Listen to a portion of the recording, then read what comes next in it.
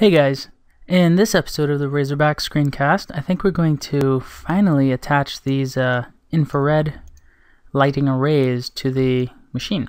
Uh, right now they're just kind of floating in space and we probably want to take care of that.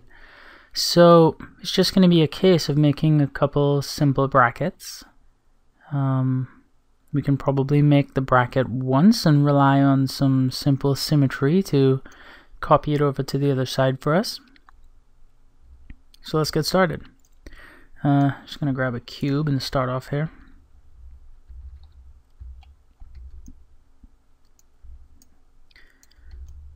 So I'm thinking I'll probably start the bracket off as sort of a plate and then break it up into sort of a Y shape. So let's start off with sort of a thin substrate. Go with uh, 0.192. Seems like a good thickness. And then we just move it over here to one side of the machine. And once we've moved it over, we can convert it to an editable object and find some symmetry to place it in. So we have a few symmetry objects already. Probably look for one and piggyback onto it, like perhaps the symmetry object that these are contained in. So there's a symmetry object for red lights. In my uh, in my vision, these would create sort of a red glow, even though they're infrared lights. Um, the red glow would look better, and people would get the idea. So I don't think there's much danger in making them red lights. Okay, so we have uh, two objects there but they do seem to be rotating my cube a little bit probably due to the deformer. So this whole thing is being bent so I don't really want that. I could do like sort of a restriction on it or some or something of that sort but I think in this case I'm just gonna duplicate the red light symmetry delete the stuff that's under it and rename this uh, red lights bracket So now we can sort of work on it on our terms. So we have this face here that I'm just sort of going to extract. But before I do that, let's just see how the rest of the cube looks. Is it in the right spot? Could probably bolt on right there. On the other side, that sort of leaves it uh, sort of unknown because this this item that we're trying to bolt it onto is not symmetrical. But in this case, I'm going to allow it. I don't think that matters very much. It's kind of hard to see anyway. So we can just bring this out a little bit and then extrude it, scale it up a little bit maybe.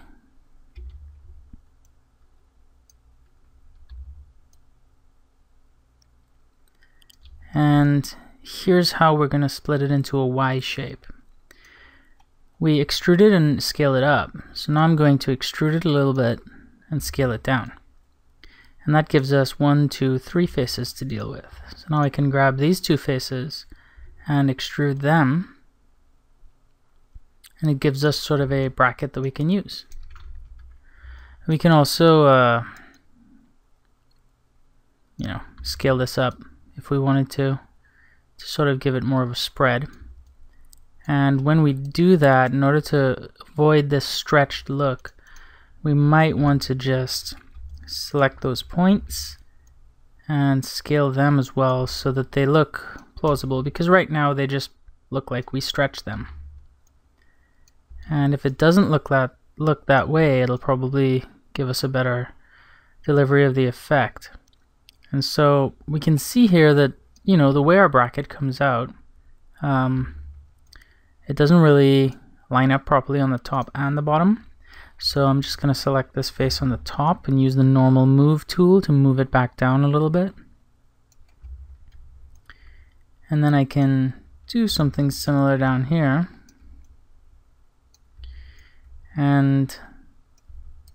What I want to do is isolate just this object. So I'm going to say visible and then say invisible for everything else. Just because I want to work on this object alone. And I'm just going to tweak it until the thickness looks right, the, the structure looks okay. Just sort of matches what I've got in my head about how it should look. So I'm wondering if we created some extra geometry. It looks like we did.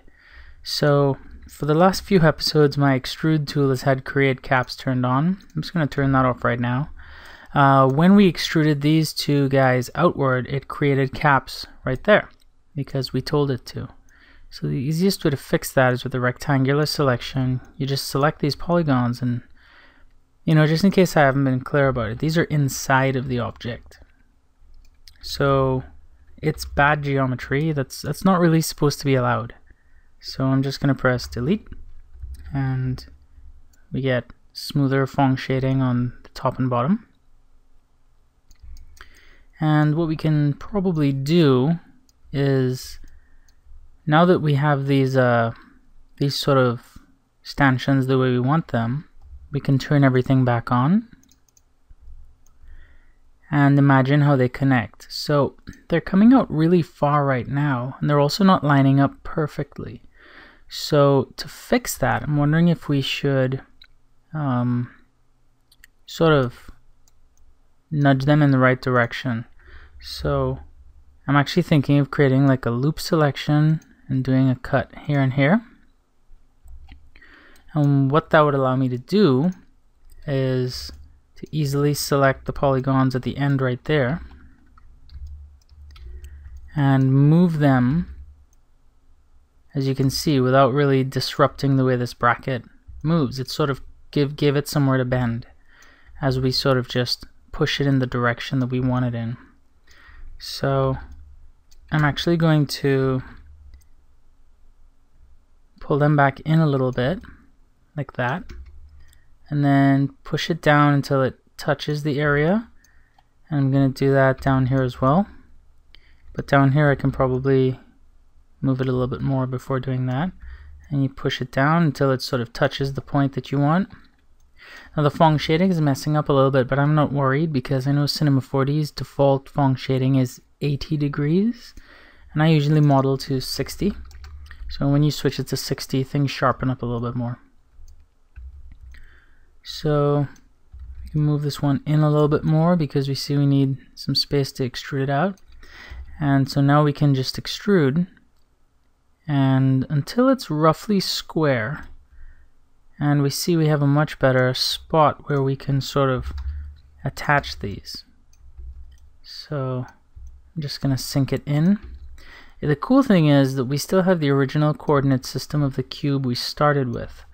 Um, that's that's one of the advantages of rotating the primitive that you start with when sort of modeling something because you're you're rotating that primitive's coordinate system when you do that and it means that if down the line you need to uh, you need to sort of rotate something at a specific angle chances are it's already going to be at the angle you want. Whereas you can see in this case down here I'm having to rotate this anyway because uh, the the curved infrared light itself is at a funny angle. So before we get any further, we should probably check just to make sure that our steering isn't going to intersect this, because if it does, it would really be unpleasant. And it does. So, not really sure what to do about that, but we have to do something.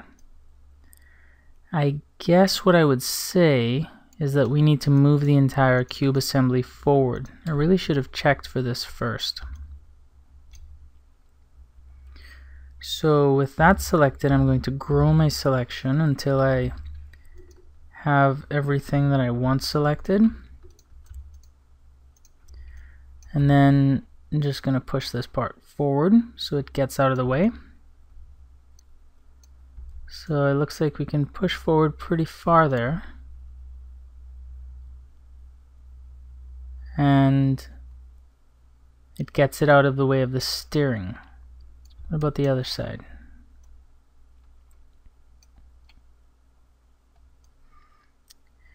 Yeah, the other side has no problems. It almost makes me wonder if these should not be symmetrical. Because if it wasn't symmetrical, this side could remain like this. And then we would just push the bracket forward for the other side. Yeah, let's do that. Let's get some asymmetry going on. So we have the material, the bracket on the other side correct for this side. Oh, wait a sec. No, we need to move it forward here as well. Okay, so that's that's not a problem. We can just move both of them forward. Just move it forward until it gets out of the way, like right there. And then we can start to adjust this again. So we probably want to move it in to give us a little bit of stretch there. You see how that works? And then so it looks okay here. Looks okay on that side. It's not intersecting anything too badly. And then we can start moving some loops around. So I'm going to go back to my Kayama slide plugin and just move that loop down a little bit more to tighten it up. And do the same thing down here.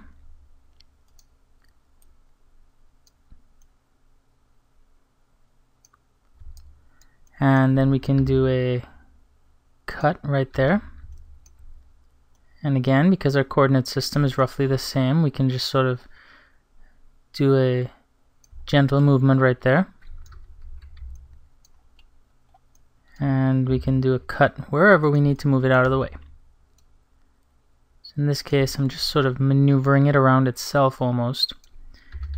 And once we have these in place like this, we can actually soften the way that looks by just sliding it back and forth a few times. So slide it to that edge and then down here, and you can see it really softens it up. Also, in these places where we've made one cut to move the bracket out of the way, we can really easily do a bevel operation to split it into a pair of edges and it it it usually flows pretty nicely when you do that. I'm just going to move that down to soften it up a little bit. Easier transition. And then I'm going to split those. So now our bracket looks kind of weird, but you know, we've we've discovered that it, it almost has to look that way for us to uh, do this the way we want to.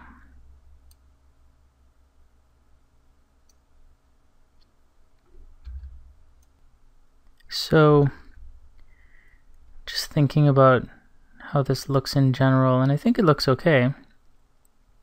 But we would definitely want the edges of this bracket rounded off, like we've been doing with most of our other brackets. So I can just select those four edges and bevel them slightly. And that takes care of most of the work right there. What we would need to do is check where they hit this part here and just make sure that looks okay.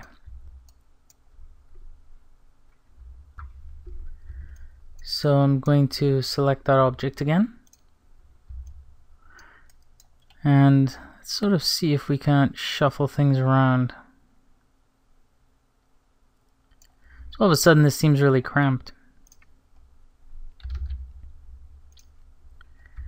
If we were to select these points and sort of that doesn't work really well. Let's move these edges of the cube away and look at it on the far side. So you can move it until it just meets over here and that's fine and I guess it just sort of intersects right there.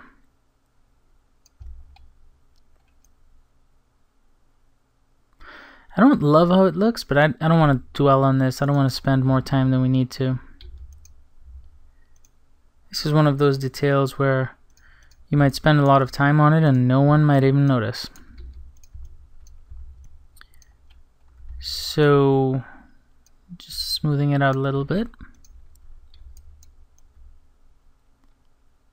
And we have the bracket there. And the steering no longer intersects. Just double check this side, although it should be fine. Yeah, looks good. So I'll set the steering back to zero. And now that we have this bracket, the next thing to do is to put a couple bolts on it. Um, so let's just use regular hex bolts. So we just modeled one down here. So we can just copy that po polygon object, go back to our bracket, paste it right in here and make the bolt a child. And then we can sort of zero out its coordinates down here. So we have that bolt in our in our reach. And again, you know, because it's sort of is taking in the coordinate system for the most part, we probably don't have to do any fancy constraints or anything of that sort. So I'm just going to shorten that because we don't actually have to show it penetrating anything. And we can probably move the axis like that and rotate it as well.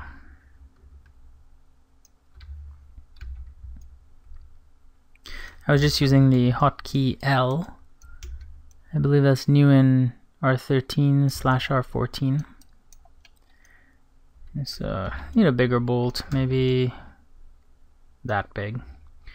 And going to make an instance of it. So we can move the instance down here. And then we just have to position them correctly. So for positioning like this, I usually like to put my view halfway in the object so I can actually see what I'm doing and just sort of position it like that. It just has to look good enough, it doesn't have to be perfect. And then we can just press O and go to the other bolt, do something similar.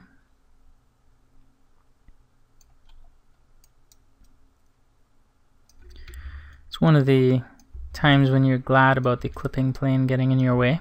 It makes it really easy to jump inside of an object and do something like this. And now that that's on the correct plane, we can just make sure it's centered on the bracket.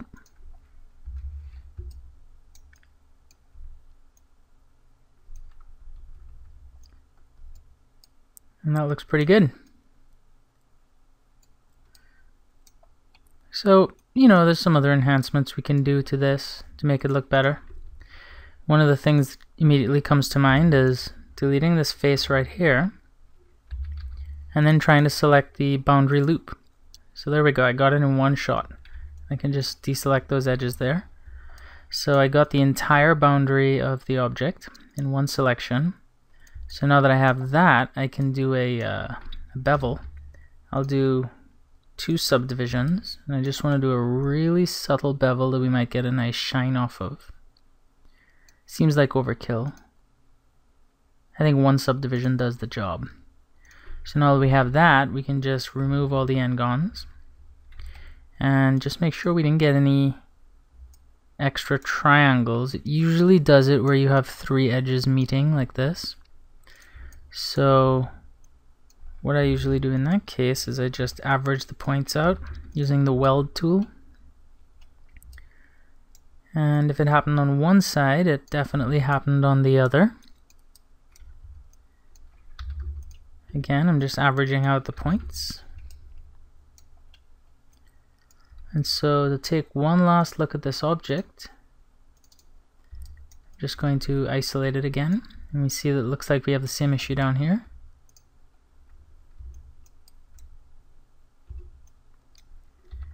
And R13 and R14, you can actually just hold whatever shortcut you have for the select tool, and then you're still on the weld tool when you release. So I can press and hold, select, click. Press and hold, select, click.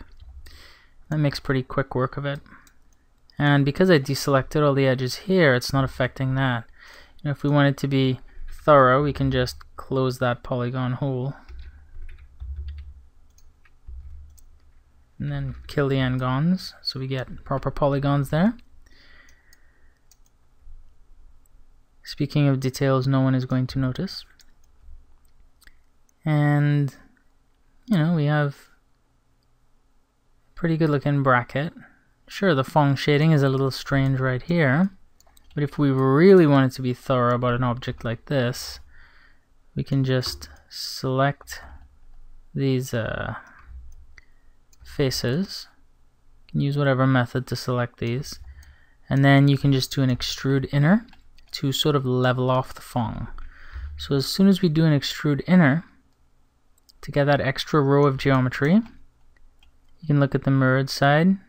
Phong shading looks a lot, a lot better, a lot more robust. But uh, I didn't really think it looked bad enough in the first place, so I'm just going to leave it. So we have more brackets.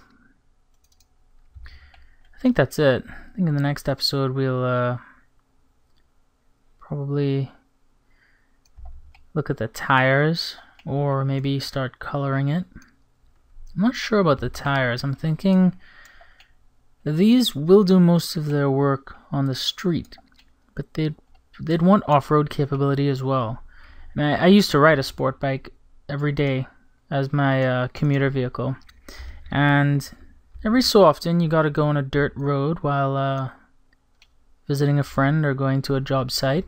And, uh, you know, street tires on sport bike platforms like this handle the dirt okay, as long as you're not trying to do any sort of high performance riding. Uh, so it would be interesting to see if we can model some tires that have sort of an all-terrain thread, all-terrain tread on them. Um, not quite street, not quite dirt. Might need to do some research on that before we tackle that though. So I'm pretty happy with the modeling at this stage. There's a lot of other details we can add, but I'd like to get to some rendering and some texturing. So maybe in the next video we can start to tackle those things and we can sort of address some of the other details that we've left out as we go along. For instance, uh, these are supposed to be the batteries but they're just cubes. We never really figured out what they would look like. Uh, this is the flywheel, and it's just sort of a low poly casing of some sort right now. Uh, these blades are just kind of floating here. There's nothing to hold them.